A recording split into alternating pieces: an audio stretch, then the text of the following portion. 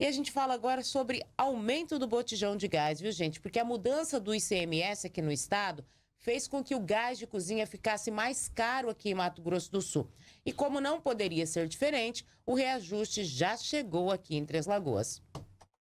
A nova forma de cobrança do Imposto sobre Circulação de Mercadorias e Serviços, o ICMS, impactou diretamente o mercado de combustíveis. O imposto passou a ter, desde o dia 1 de maio, uma alíquota única sobre o óleo diesel e sobre o GLP, que é o gás de cozinha.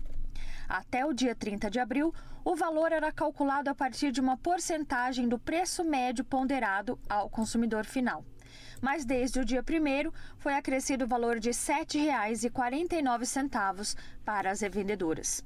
Segundo Zenildo Dias do Vale, presidente do Sindicato das Empresas de Gás da região Centro-Oeste, para os consumidores, o repasse pode ser ainda maior. Nas cidades mais caras, na cidade de Três Lagoas, o gás vai chegar a 10 real.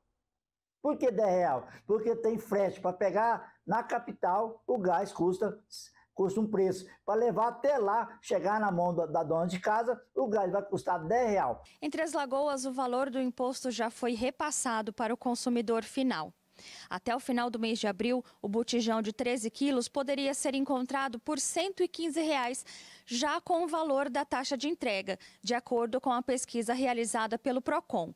Agora, o mesmo botijão pode ser encontrado por 133 reais, também com o valor para receber o produto em casa. E é justamente o consumidor final quem reclama do valor do botijão e tem até alternativas para não gastar tanto assim. Compro senhor está achando do valor? Ah, eu sei lá, tá caro ainda.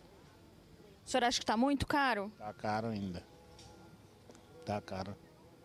O que, que impacta no, no orçamento do senhor o aumento do gás?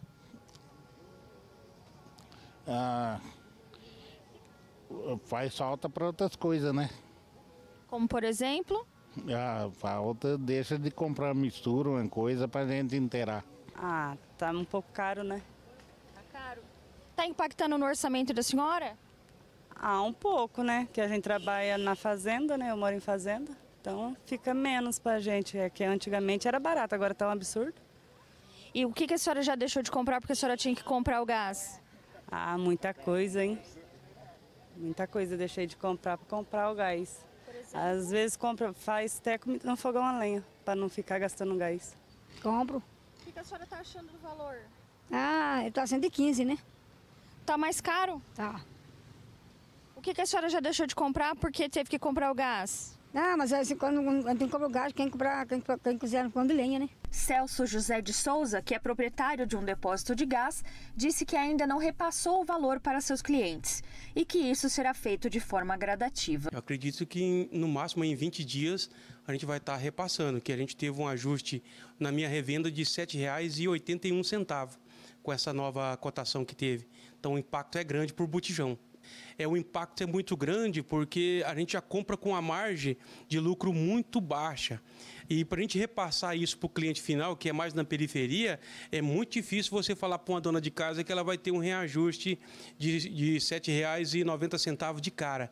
Então, assim, infelizmente, a cultura no ramo do gás é ele subir gradativo. E tem revendas que nem repassa, prefere arcar com prejuízo e dispensa funcionário, igual aconteceu o nosso aqui. Então, agora vai ser uma corda bamba para a gente manter com as portas abertas.